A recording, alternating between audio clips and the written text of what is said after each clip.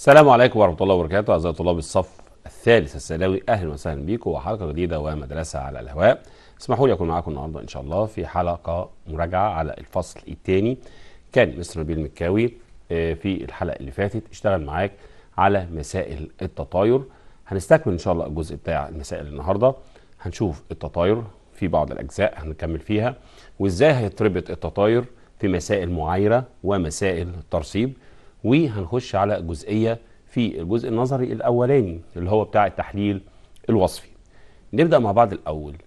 نتعامل إزاي مع المسائل؟ رقم واحد نبدأ حلقتنا كده بتنبيه بسيط. أي حاجة بتلاقيها في الكتب اللي حضرتك شغال منها بعيد عن كتاب المدرسة ما تقربلهاش. شغلك كله وامتحاناتك ودي بتشوفها الامتحانات التجريبية أساسيها كله كتاب مدرسة. معلومات مبنية على كتاب المدرسة. فما تعقدش نفسك في حاجات آه، بتاعت جامعه لا الدنيا أبسط من كده بكتير بس اعتمد كويس قوي على كتاب مدرستك وابني أفكار عليه. نبدأ الأول بجزئية المسائل. في المسائل أنت المفروض مفاتيح حلك إيه في المسألة؟ حاجات كتير. بدايتها قوانين. أنت عارف القوانين وبتربط القوانين مع بعض كويس ولا لا؟ معرفتش تربط قوانين؟ نص المسألة هيقع منك. طيب إيه القوانين اللي المفروض حضرتك تبدأ بيها ويبقى على علم بيها قبل ما نشتغل؟ رقم واحد كنا بنتعامل معاك على مثلثات بالمنظر ده وبنقول لك هنا إيه؟ بقول لك هنا ان هنا كتلة هنا كتلة المول. كتلة بتبقى بالجرام. ان ده عدد المولات. كتلة المول حضرتك بتجيبه بالجرام لكل مول. المثلث ده بتستعمله لما بيكون عايز كتلة بدء. طيب المثلث التاني الأكثر استخداما في منهجك C N V ال C المقصود بيه التركيز المولاري أو المولارية. ان عدد المولات. في حجم المحلول ولازم يبقى باللتر. المثلث الثالث اللي حضرتك لازم تتعامل معاه وده خاص بالغازات N V 22 و4 من عشرة لتر. وتخلي بالك إن ده خاص بالغازات عن لازم يقول لك STP أو معدل الضغط ودرجة الحرارة. هنا ال V مقصود بيها حجم الغاز هنا ال V المقصود بيها حجم المحلول. خلي بالك. طيب مثلث ثالث أو رابع هنا الان ستة واتنين من مية في عشرة أس تلاتة وعشرين وهنا عدد الجزيئات. ساعتها كنا بنقول لك إن ده عدد أفوجادرو. طب المشترك بين الأربع مثلثات دول هي عبارة هتقول لي عدد المولات. فهيقابلنا في الحل وإحنا شغالين المثلث اللي بنسميه أبو دورين. إيه المثلث أبو دورين ده؟ ده بيربط لك مثلثين في بعض أثناء الحل بيبقى أسرع. زي مثلا لو ربطت ده بده هتقول لي هيبقى هنا السي هنا الان هنا الفي ال هنا الان هنا الكتلة هنا كتلة المول. ومسألة تشتغلها بس مش هتبقى مسألة بالظبط. ده بيبقى جزء من المسألة معتمد على الحتة دي. لو انت ربطت المثلثين التانيين ببعض هتلاقي إيه؟ هتلاقي هنا الان هتلاقي هنا الان هتلاقي هنا الكتلة وهنا كتلة المول وهنا الحجم و22 و4 من عشرة لتر. طيب دي كده؟ قوانين بتخلي بالك أثناء الشغل هتتعامل معاها. ثم قانون المعايرة. نظام ومسائل المعايرة هتجيلك إزاي؟ طبعا أنت عارفها. M A في ال V A على ال N A هيساوي M B في ال V B على ال N B وهنشرحها لك بالتفصيل المعايرة النهارده. طيب دي اهي قدامك لو تصورها هتعمل فيها اي حاجة عشان تبقى معاك وانت شغال. بالنسبة لنا بقى مسائلك هتبدأ إزاي؟ مسائل ربط. مسألة بتقول احسب كتلة هيدروكسيد الصوديوم الذائبة في محلول حجمه 500 ملي إذا علمت أن تركيز المحلول 0.1 مولار. كتلة مولية لل NaOH ب 40 مسألة اهي للربط مش أكتر. احسب كتلة هيدروكسيد صوديوم. الذائبة في إيه؟ أدي محلول. حجمه 500 وتركيز بس يبقى أنت هتستعمل المثلث اللي قلت لك عليه اللي يربط الاتنين ببعض في علاقة سريعة. النظام هتقول لي هنا السي هنا الان هنا الفي ال هنا الان هنا الكتلة هنا كتلة المول. لازم تبقى عارف انت عايز إيه أصلا. يعني بيقول لك هنا احسب كتلة. خلاص علامة استفهامي هنا. محلول حجمه 500 يبقى هنا 500 بس تتقسم على 1000 طبعا أنتوا عارفين عشان تتحول لتر يعني بنص لتر. التركيز 0.1 يعني هنا هتعمل إيه؟ هتقول لي يا مستر كده بقت واضحة. الان اللي هتيجي من هنا هتعوض بيها هنا. الكتلة المولية عندك 40 تمام؟ يبقى 0.1 في إيه؟ في 0.5 يعني هتطلع لك كام؟ هتطلع لك حوالي 5 من 100 يبقى عدد المولات يا مستر هنا 5 من 100 هتضربها في كام؟ في 40 يطلع لك الكتلة بتاعتك بالجرام. ادي مسألة سريعة. مسألة ربط تانية بتقول احسب حجم غاز ثاني أكسيد الكربون آه الذي كتلته 11 جرام. ومديك السي ب 12 والاو ب 16 ربط سريع دي مسائل ربط مش أكتر. قبل ما نبدأ في مسائلنا الأساسية هتقول لي هنا ال N هنا الكتلة هنا كتلة المول هنا ال N هنا ال V هنا 22 و4 من 10 احسب حجم أنا عايز ده. غاز ثاني أكسيد الكربون كتلته يبقى دي الكتلة 11 جرام. تحسب سي أو 2 يبقى سي زائد الاو 2 هيساوي 12 زائد 16 في 2 هتطلع لك ب 44 يبقى هنا 44 11 على 44 بربع تاخد الربع ده حطه لنا هنا ربع في 22 و4 من 10 ب 5 و6 من 10 لتر.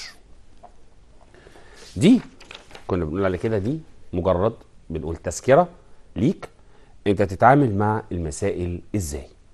طيب إحنا بالنسبة لنا في المسائل بتاعتنا إحنا عندنا حاجة اسمها معايرة وحاجة اسمها ترسيب وفي مسائل بتربط الاثنين ببعض بالتطاير. نبدأ الأول نعلمك إيه هي المعايرة وإيه أخطائك فيها ووزن المعادلات إزاي. مبدئيا إيه هي المعايرة؟ عشان عليها أسئلة كتير. رقم واحد أنا بقول لك حمض. زائد قاعدة.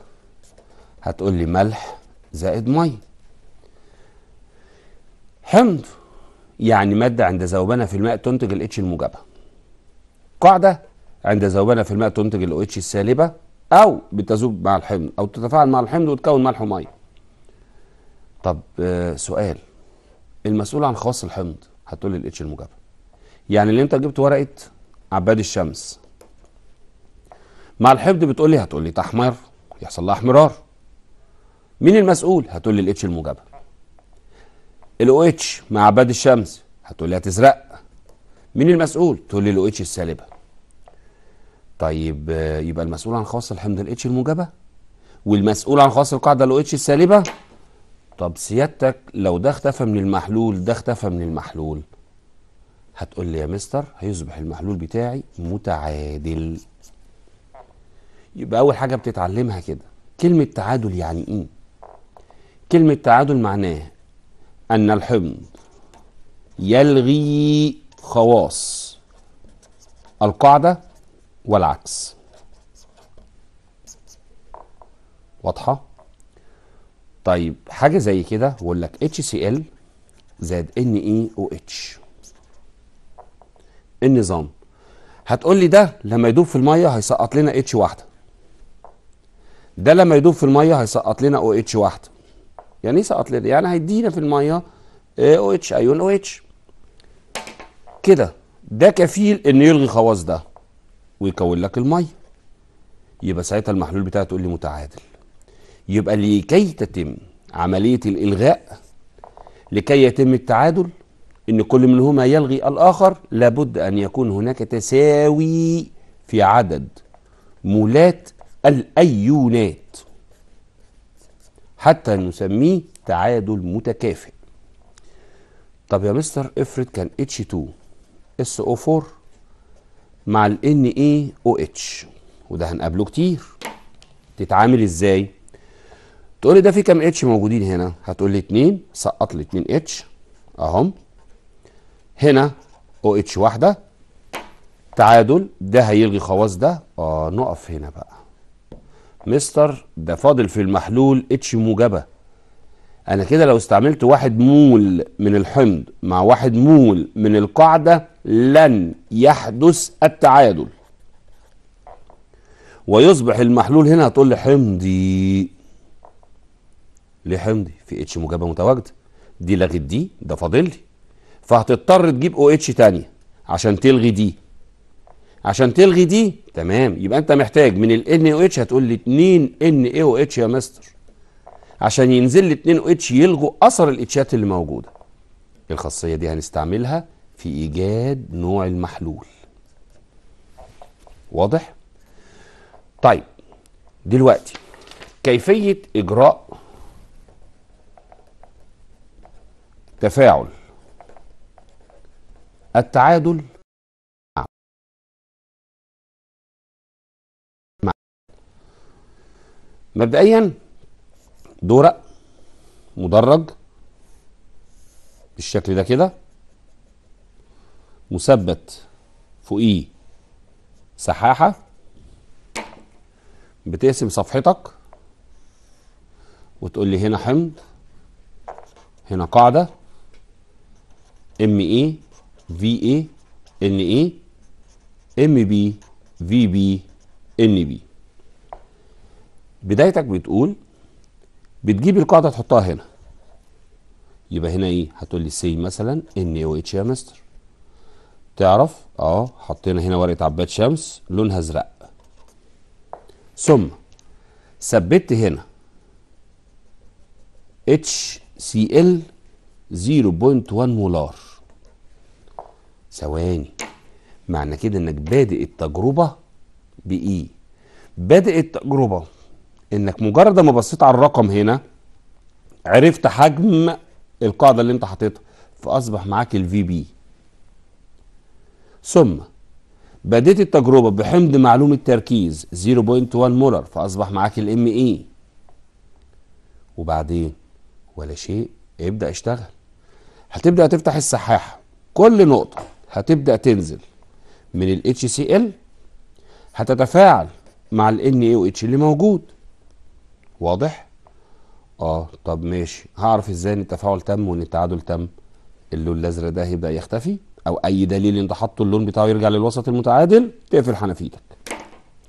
وتشوف السحاحة دي مدرجة الصفر من فوق. الحجم اللي انت خدته قد إيه؟ يبقى أصبح معاك. وفي ايديك دلوقتي حجم الحمض المستخدم دي اسمها عملية هتقولي ده ده إجراءها في المعمل طيب تقدر توجد لي تركيز القاعدة؟ أقول لي يا مستر بما إن حصل تعادل يبقى جميعهم دلوقتي متساويين بس في شرط. إيه؟ عدد المولات هو أنت ضامن إن كل نقطة نازلة من الحمض هتعادل نقطة من القاعدة؟ يعني كل اتش نازلة هتقابل أو اتش حسب دي. هنا يسقط إيه؟ هتقول لي اتش موجبة هنا يسقط أو اتش شكرا. واحد مول يا مستر لواحد مول يبقى عدد المولات واحد لواحد. من هنا تقدر تجيب لي الام بي أدي أول نوعية مسائل. ودي سهلة كله عارفها. على الحتة دي خلي بالك اسمها نوع المحلول. كده حصتنا تبدأ بجد بقى. إزاي؟ يقول لك عاملين عملية تعادل. بعد ما عملنا عملية التعادل حضرتك بتحط كميات معينة. حدد نوع المحلول. هل هو تعادل فعلا بقى متعادل؟ هل هو بقى حامضي؟ هل هو بقى قاعدي؟ ثواني. يعني إيه؟ ده تفاعل تعادل. يعني المفروض يطلع كله متعادل. لا. في بعض الأوقات بيقابلنا عاملين. العامل الأول إن بيبقى فيه فايض شوية من الحمض أو في نقط زيادة نزلت لك من السحاح العامل الثاني وده المهم وده اللي هركز لك عليه النهارده قوة الحمض أو القاعدة. إزاي؟ في مسألة بتقول لك عند خلط. حجمين متساويين. ذو تركيزات متساوية. من حمض H2SO4 و KOH آه فإن نوع المحلول نقط حامضي ب قاعدي ج متعادل. يجي لك حاجة زي كده تقول لي حاضر هنا حمض هنا قاعدة هنا Ma Va على ال Na هنا ال Mb Vb Nb تمام؟ طب ال Ma بتاعتك وال Mb متساويين اللي بيقول لك تركيزات متساوية. يا عم أنا أحطها دي باتنين ودي باتنين. ما دام متساويين من حقك. حجمين متساويين. دي 10 ودي 10 يتفضل لك إيه؟ تقول لي عدد المولات. حطهم بقى قدام بعض. هتقول لي اتش 2 اس أو 4 والان اي أو اتش إيه النظام هتقول لي ده هيسقط لي 2 H بالشكل ده. ده هننزل OH واحدة. اللي هيتم؟ هتقول لي ده هيلغي خواص ده. يصبح. هتقول لي لا. كده أنا محتاج من هنا OH تاني عشان تلغي خواص دي. فبالتالي هحتاج هنا 2 مول. يبقى عدد مولات الحمض واحد عدد مولات القاعدة 2 هتعمل إيه؟ بص. Mb في ال Vb على ال Nb هيطلع لك رقم. Ma في ال Va على ال Na هيطلع لك رقم. طب نضربها كده. هنا 2 في 10 بكام؟ ب 20 20 على واحد لي هنا 20 2 في 10 هتقول لي ب 20 على 2 هتقول لي 10 بس مين أكبر؟ هتقول لي ده. كده إيه؟ هتقول لي بص دلوقتي عدد مولات القاعدة بتاعتك اتنين. سوري مستر انت عكست صح؟ هنا الاتنين وهنا واحد. يبقى هنا العشرة وهنا العشرين. عاملة كده. تمام. يبقى هنا عشرين هنا عشرة. يبقى وأنت مغمض بقى؟ تقول لي بس الرقم الأكبر المحلول تبعه. مين هنا أكبر؟ هتقول لي الحامضي. شكرا. ليه؟ هنا واحد هنا اتنين. القسمة هتفرق معاك. يبقى اللي عدد مولاته أكتر يبقى التاني هو اللي يسود عليه. خلي بالك من الحتة دي. يبقى المحلول هتقول لي هنا حامض يا مستر. أدي واحدة. طب يا مستر افرض ضربتهم ببعض وطلعتهم متساويين. يبقى انت كده هتقول لي متعادل. كلام سليم. بس شرط. إيه إن يكون عندك حمض قوي وقدامه قاعدة قوية أو حمض ضعيف وقدامه قاعدة ضعيفة. والكلام ده عندك في الفصل الثالث موجود لك جدول في كتاب المدرسة بيه. يعني ممكن الرقمين يبقوا يا مستر قد بعض بس مش متعادل طبعا. لأن التأين هنا خلي بالك منه. أنت بتتكلم في أيونات. فممكن تبقى القاعدة ضعيفة يتأين منها جزء والحمض قوي يتأين كاملا وتقول لي عدد المولات وظبطت نفسك في الحسابات. لا خلي بالك من الحتة دي. شرط التعادل وإن المحلول بتاعك متعادل أرقامك متساوية وحمض قوي قدامه قاعدة قوية حمض ضعيف قدامه قاعدة ضعيفة. دي كانت بداية أسئلة المعايرة اللي تخلي بالك منها مساله نوع المحلول إيه. طيب بالنسبة للتانية بقى النظام. يقول لي يا مستر بيجيب لي خليط ومن الخليط دوت يقول لك تم إضافة كذا فتفاعل مع كذا وما تفاعلش مع كذا. دي مسألة كده كنا مسمينها أنا وزمايلك الحلة. يعني إيه؟ حاطط حلة كده وحاطط فيها خليط وضفت عليه. تعال نلعبها كده مع بعض أفكرك بيها. بص يا سيدي. أدي حلة أهي. طبق يا عم. حطيت فيه خليط. من إيه؟ من ال NaCl. وهناخد مسألة كاملة عليه بعد شوية. وال إن اي أو إتش. الخليط ده وزنه واحد من عشرة جرام. طيب هتعمل إيه؟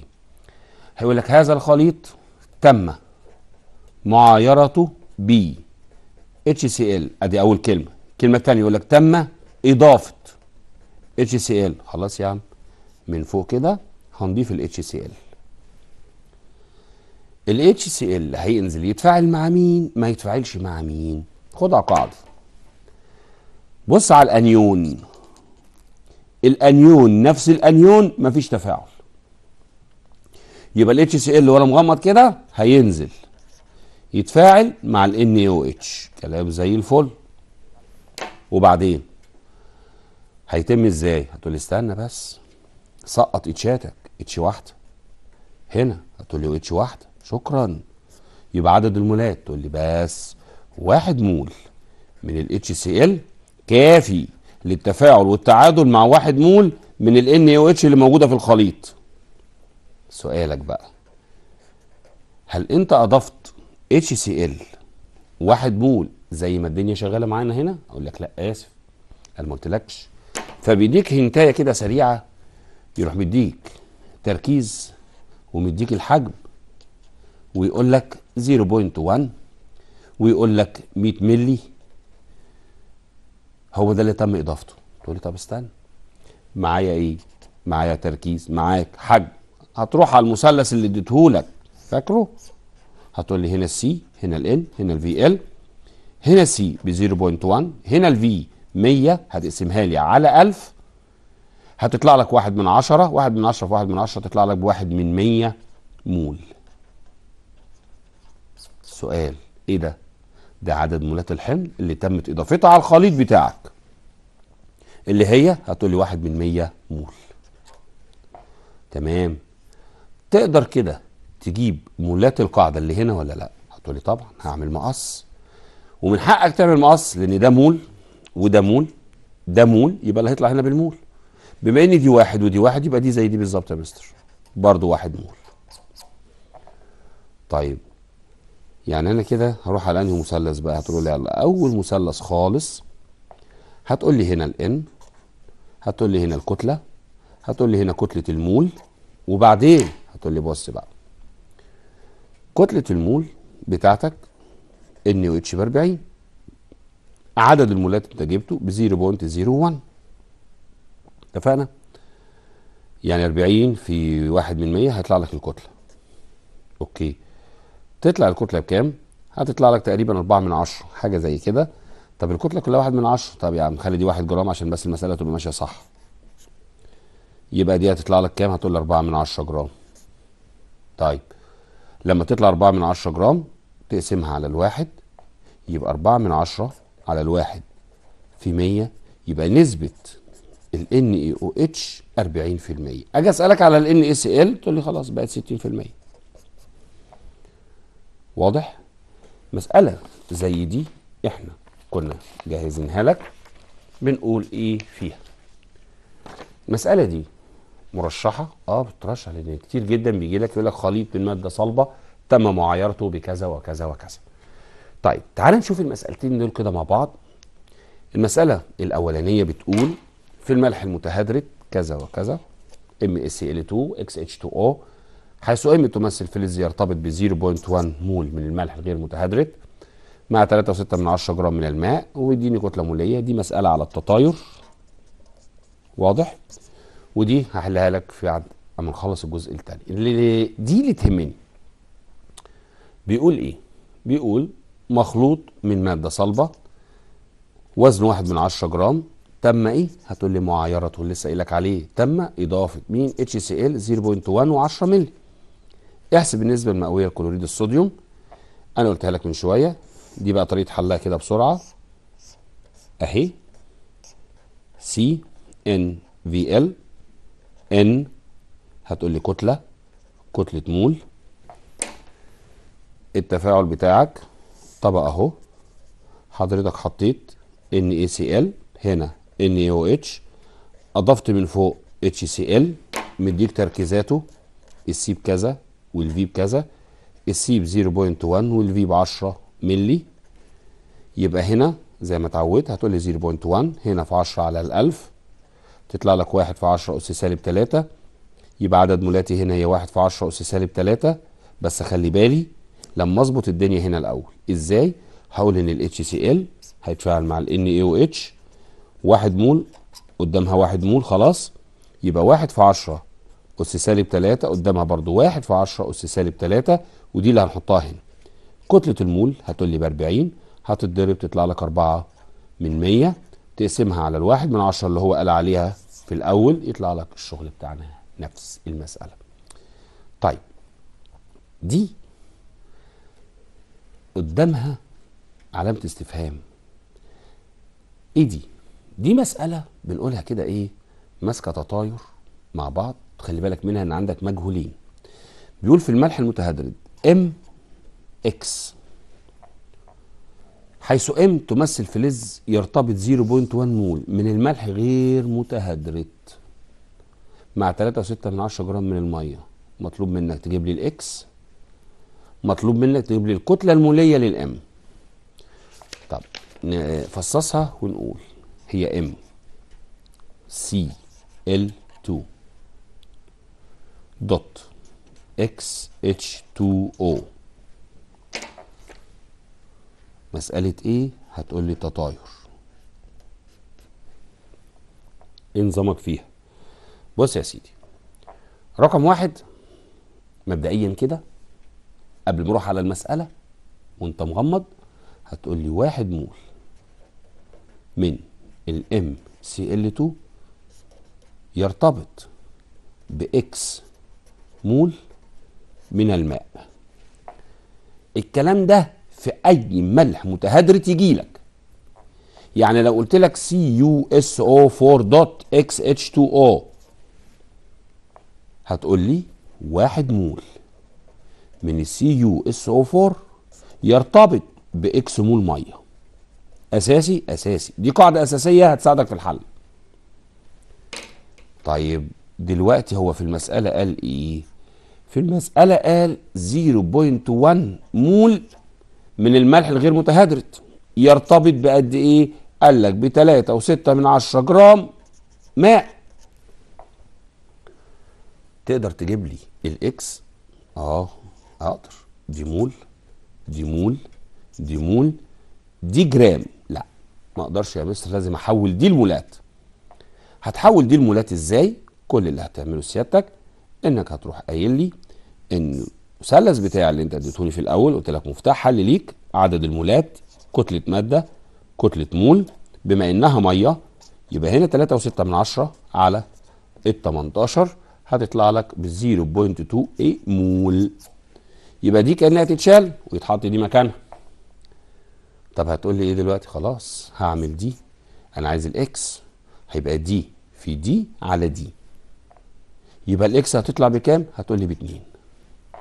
حلو قوي. كده مبدئيا حضرتك زي الشاطر بقت MCl 2 نقطة X لا مش X يا مستر. بقت 2 H 2 O كلام زي الفل. كده أوجدت ال X من العلاقة دي. أنت لو مش عارف العلاقة دي أثناء الحل أنت هتتعب. طيب بيقول لي إن الكتلة المولية كاملة ب 147 للملح كله خلاص. السي ال كتلة مولية هتقول لي 35 ونص في 2 زائد الام زائد 2 في 18 ال 18 دي الكتله الموليه بتاع الميه هيساوي 147 خلصت المسألة. هتحسب دول تودهم للناحية الثانية هتطلع لك الام كتلة مولية ليها ب 40 يسألك بقى مين الكتلة الموليه بتاعته ب 40 هتقول له ده الكالسيوم. خلاص. آدي نوعيات من المسائل اللي إحنا بنتعامل معاها. بيبدأ يربط لك تطاير. طيب في مسألة بنقول عليها كده إيه؟ آه تطاير وترسيب في نفس الوقت ومعايرة في ترسيب إزاي؟ تعالى نشوف اولا المسألة دي. آه المسائل بقى. يعني أنت كده خدت مسألة اللي هي إيه آه، خليط وبتحط عليه اتش سي ال بتحط عليه حمض بيعاير جزء والجزء التاني لأ. المسألة التانية وزمايلك مسمينها كده مسألة الشفشق. يعني هي كوباية كده كبيرة وبناخد منها جزء صغير. مبدئيا عشان تحل المسائل دي بنقول فيها كده كالتالي. لو أنت عملت في البيت كده يا عم بالبلد أهو شفشق مانجا. ورحت جاي معبي منه كوباية صغيرة. طعم المانجا اللي في الكوباية هو نفسه الطعم اللي موجود في الشفشق الكبير. كلمة الطعم هنا المقصود بها التركيز.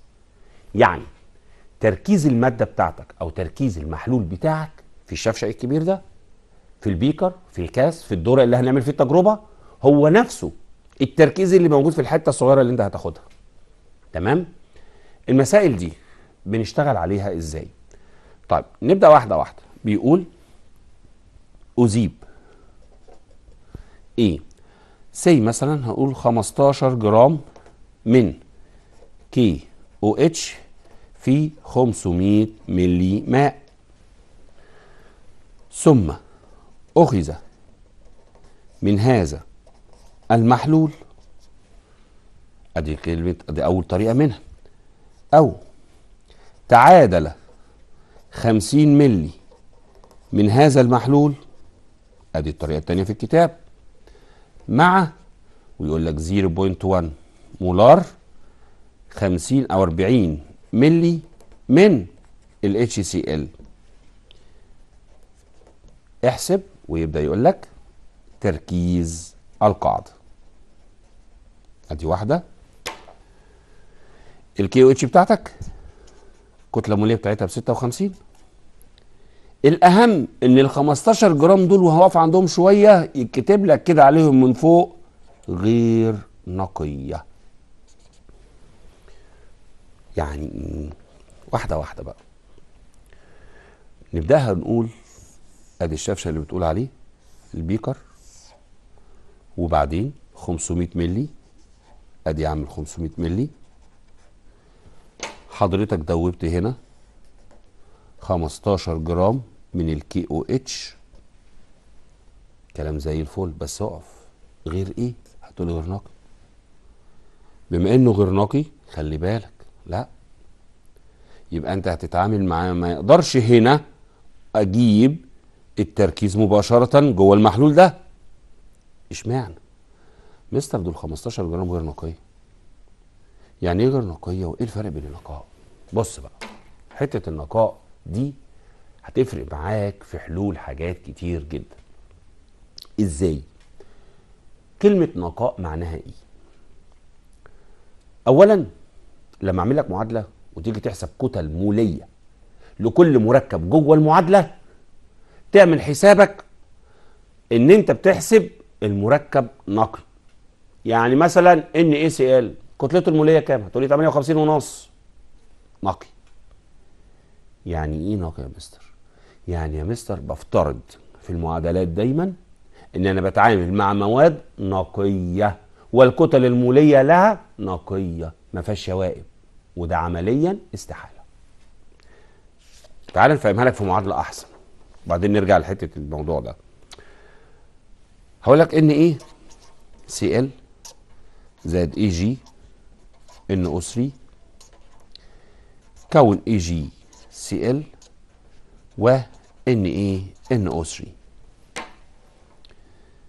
ونتعامل ككتل موليه هتقول لي 58 ونص جرام. تقول لي إيه؟ نقي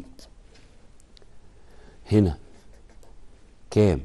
هتحسبها تقريبا تطلع 170 جرام. إيه؟ نقي هنا 143 ونص جرام نقي هنا كام؟ هتقول لي سهلة بقى. قانون حفظ الكتلة. مجموع كتل اللي داخل يساوي مجموع كتل اللي خارج. يبقى وانت مغمض لو جمعت دول وطرحت بينهم دي تطلع لك دي. الان ب 23 والان ب 14 بقوا 37 37 و 3 في 16 ب 48 احسبها كده. 8 و7 تقول لي 15 4 و3 7 بقت 85 يا مستر. لو جمعت دي على دي يديك دي. اتفقنا؟ طيب. مبدئيا بقى كده. بعد ما عملت لنا إيه؟ هستفاد منه في إيه؟ خدها قاعدة. التفاعل قدام عينيك حسابيا على الورق بيفترض أن جميع المواد مالها نقية. طب جيت عملته في المعمل. اترسب مثلا من كلوريد الفضة 4 و68 من 100 جرام. تقول لي وأنت مغمض نقية وما تجيش إلا من نقي زيها. دي مفاتيح حل تخلي بالك منها. تاني أما يتكلم على إيه؟ عن نقاء؟ آه شكرا. يبقى لما بحسب الكتل المولية بفترض نقاء جميع المواد. طب هو هيحصل الكلام دوت ويديك مادة غير نقية؟ بالظبط. وبالتالي لما اديك مادة غير نقية أقول لك مثلا بعد شوية اديك مثال أقول لك 2 جرام من ال NaCl غير نقي. تقدر تحطها لي هنا في الحسابات؟ تقول لي آسف. معنى إن غير نقي إن اللي هيتم التفاعل فقط النقي اللي جوه ال 2 جرام. ويمكن ده إحنا قلناها لزمايلك في حلقات قبل كده. قلت له عشان تفهمها صح بالظبط أنت بتروح تشتري كيلو فول سوداني. الكيلو ده أنت بتقشره. بعد ما بتقشره بتاخد اللي جواه. اللي جواه هو اللي أنت بتستخدمه سواء في الأكل في طبيخ في أي حاجة. لو أنت وزنت اللي جواه هيطلع كيلو. هتقولي لا. ما القشر ده اترمى. القشر ده بالنسبة لنا هو الشوائب. فالمادة بقول لك 2 جرام من كلوريد الصوديوم غير نقية. تعرف إن جواها NaCl وجواها شوائب مش هتتفاعل. يا هتترسب يا هتطفو يا هتترمي. فهمت؟ طيب هنا نرجع لمسألتنا عشان ما نتوهش بعيد. أنت فهمت كده النقاء؟ لو أنا حطيت المسألة دي كده قدامك تاني وقلت لك تعالى أذيب 15 جرام غير نقية. تقدر تقول لي هنا إن C هتساوي ال n على ال V L وأقدر أجيب عدد مولات ال KOH تقول لي آسف. ده أنت إيه اللي غير نقية تمام؟ طيب نكمل بقى المسألة وبتقول حضرتك بعد ما حطيت دي في دي بقى عندك هنا محلول. خدت أنت من المحلول ده كده كوباية لذيذة؟ فيها كام ملي هتقول لي 50 ملي أنا اللي قايل خدت منه 50 حاضر. يبقى ده الفي بي بتاعي 50 ملي تركيزه ال Cb أو ال Mb مش معايا ما أقدرش ما أعرفوش. الكوباية التانية اللي قدامك أنت جبت فيها حمض اتش سي ال أهو يا عم اتش سي ال كم ملي هتقول لي ال Va 40 ملي طيب تركيزه. بيديك التركيز 0.1 آه يبقى ده 0.1 شكرا. بقى معاك ال Ma تقدر تعمل إيه هنا؟ تقول لي بستنى بقى. دول مع بعض تفاعل تعادل أقدر أطلع منه ال Mb. يعني إيه ال Mb؟ تركيز الجزء الصغير ده. مش التركيز ده هو نفسه التركيز ده. هتقول لي آه. هتقول لي بس. يبقى أنا هعمل كده يا مستر. وأقول Ma Va na وبعدين Mb. Vb nb هتتعامل هتقول لي أيوه ال Ma معايا ب 0.1 دي ب 40 هنا واحد. ال Mb أنا عايزها. هقدر أجيب ال Mb اللي هي ال C التركيز اللي هنا هو التركيز اللي هنا. طب أنا هعمل إيه؟ مثلث بدورين. بص المنظر. كده. هتعمل فيه إيه ده؟ التركيز اللي أنت جبته من هنا هيتحط هنا بقى معلوم بالنسبة لي. المحلول بتاعك 500 مللي يعني نص لتر بقى هنا بقى هنا نص لتر. هتجيب هتقول لي عدد المولات. عدد المولات هنا كتلة المادة كتلة المول. كتله المول 56 اللي هيطلع من هنا هيتضرب في 56 يديك كتلة ال KOH النقية. هتلاقيها كام؟ تلاقيها 5 6 7 8 المفروض حسب الحسابات بقى تبقى المسائل موزونة لك هتطلع لك أقل من ال 15 سي مثلا بافتراضا أنا طبعا معيش قلم مش هحاسبها لك طلعت 12 نسبة النقاء هتقول لي لا نسبة النقاء هتقول لي 12 على كام؟ هتقول لي على 15 في 100 دي فكرة المسائل اللي بتربط بيها مع بعض جزئية إن أنا آخد جزء من المحلول أتعامل معاه. طيب في هنا مسألة على النقاء كده بسرعة قبل ما الوقت يسرقنا. بتقول أذيب 2 جرام من كلوريد الصوديوم وهعمل لك هنا الغير نقي. في الماء وأضيف إليه وفرة من نترات الفضة فترسب الرقم ده من كلوريد الفضة احسب. النسبة المئوية لكلوريد الصوديوم اللي هي نسبة النقاء ونسبة الكلور في العينة. هتمسكها؟ تقول لي كلوريد الصوديوم هيبقى NaCl وفرة نترات فضة اي جي ان أو 3 بقت معادلة معروفة بالنسبة لك. AgCl هيترسب. وال ان اي ان أو 3 هتشتغل هنا مسائل حسن وحسين اللي كنت معلمك عليها في سنة أولى.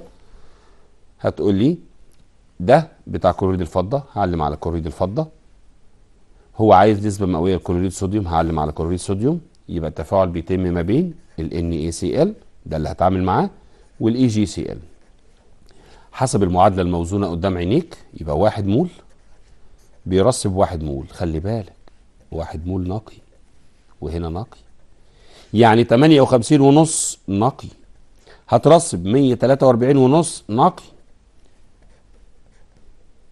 كام نقي يرسب لك أربعة ستة تمانية؟ هتعمل المقص بتاعك هتطلع لك تقريبا واحد وتمانية وتمانين من مية جرام. طيب آه، ده العينة اتنين. سهلة بقى خلاص. هتقول لي يا مستر نسبة النقاء هيبقى واحد وتمانية وتمانين على الاتنين في مية. كده انت فهمتها. التانية بقى نسبة الكلور في العينة. إيه حكاية نسبة الكلور أو نسبة العنصر جوه مركب؟ خلي بالك. كلمة نسبة العنصر في مركب أو آه، نسبة مئوية للعنصر في عينة كاملة تتعامل معاها إزاي الأول؟ بص دي كده كذا مثال تفهمك. واحد هنقول اي جي سي ال جواه سي ال واحدة. يبقى كل 143 ونص جواه 35 ونص جرام لكل مول أجي أقول لك اوجد لي نسبة الكلور هنا تقول لي 35 ونص على 143 ونص في 100 يطلع لك النسبة المئوية للكلور لو قلت لك إن A2 CO3 جواها قد إيه؟ صوديوم. هتقول لي جواها 2 إن إيه صوديوم طيب هتتعامل إزاي؟ هتقول لي كل 106 دي كتلة موليه جواها 46 نسبة الصوديوم تقول لي 46 على 106 في 100 خلاص؟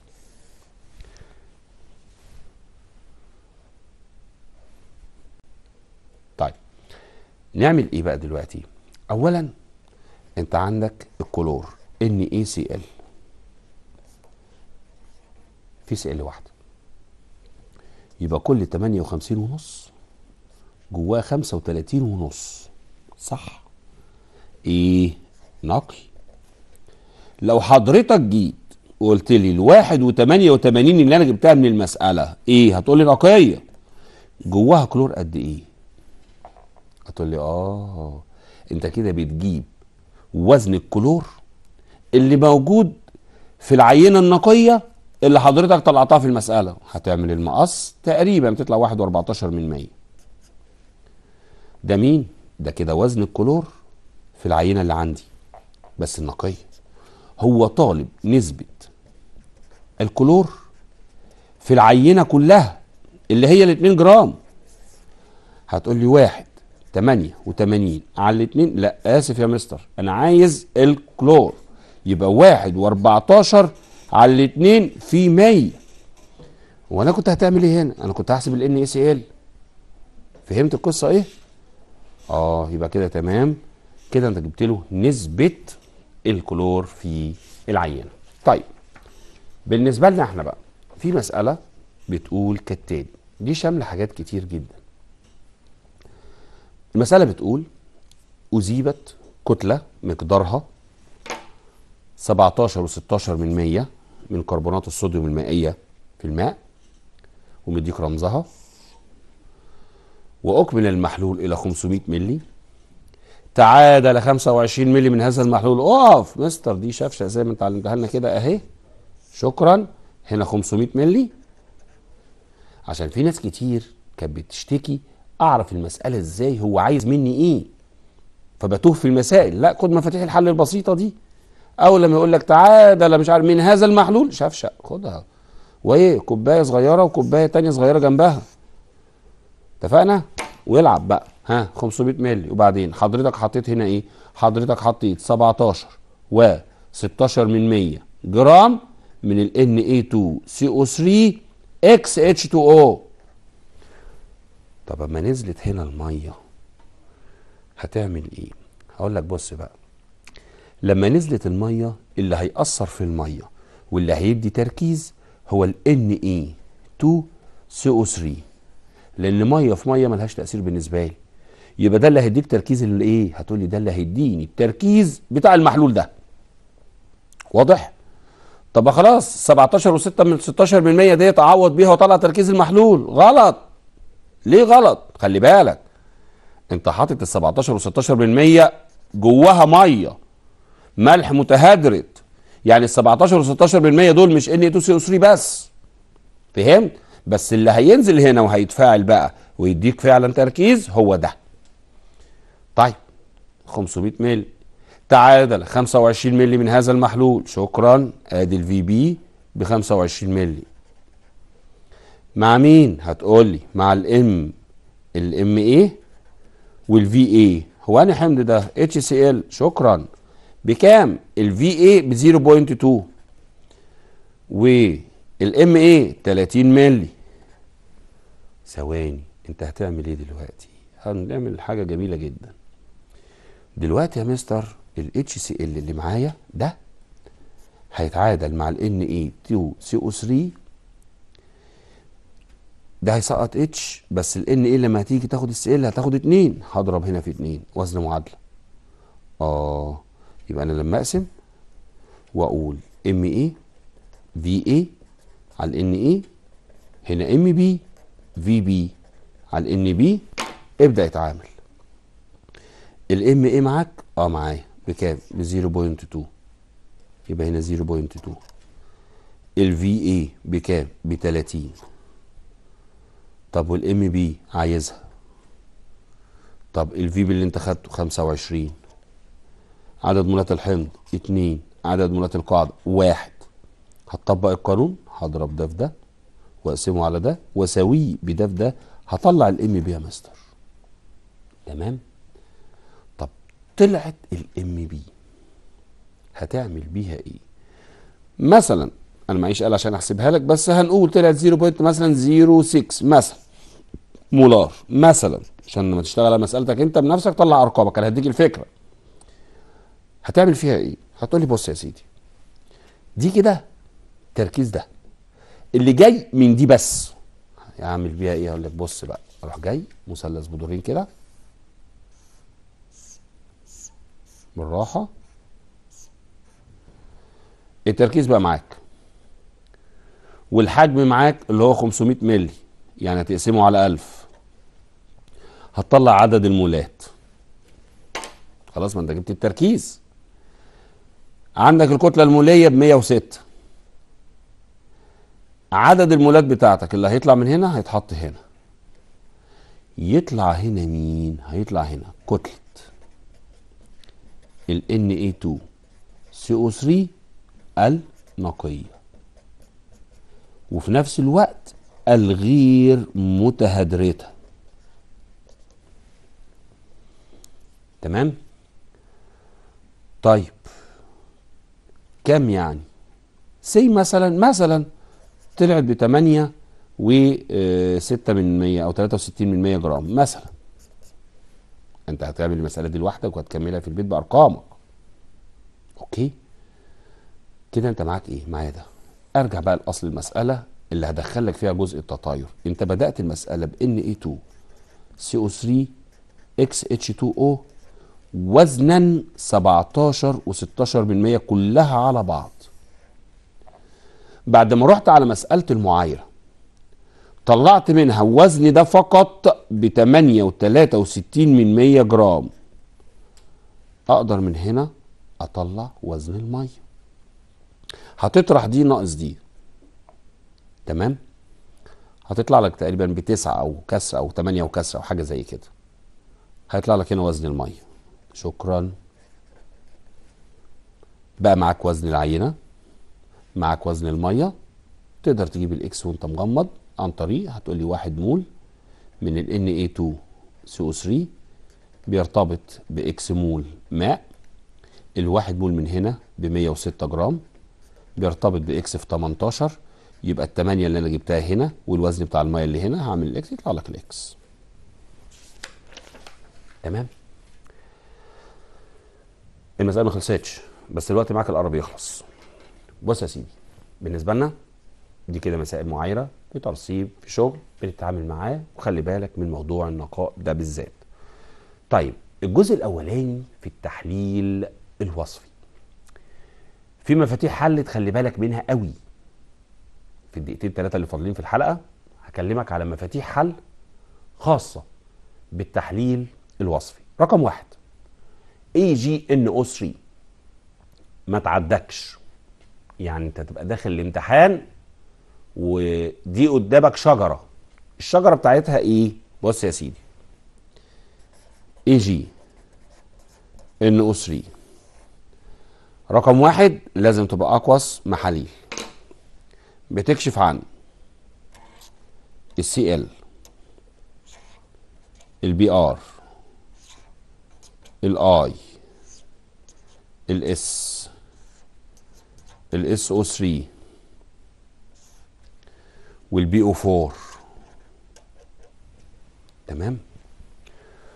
طيب النظام رقم واحد بيتكون هنا هتقول لي AgCl راسب أبيض يذوب في محلول النشادر.